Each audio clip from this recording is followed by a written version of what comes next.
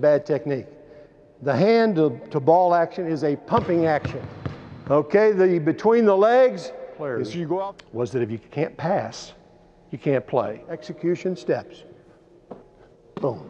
See the ball spin backwards? I'm in a, a stride position with my left foot up.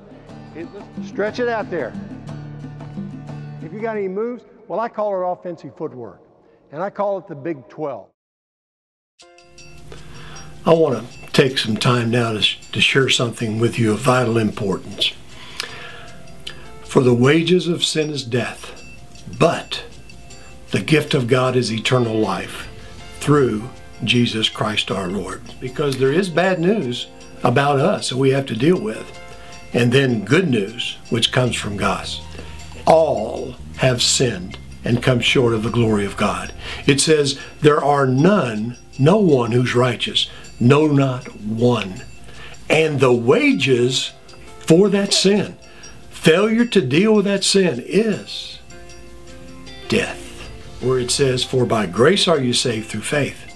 It's not of yourselves. It's a gift of God. God it's allowed His Son, Jesus Christ, to be the substitute for your sins. I am the way, the truth, and the life. No one comes to the Father except through me. He's the answer. It's Jesus only. That He died for my sins what wonderful, wonderful news. This happened to me as a 19 year old. Years and years ago, I became new when I trusted in Jesus and Him alone to be my Savior and Lord. Won't you do that too?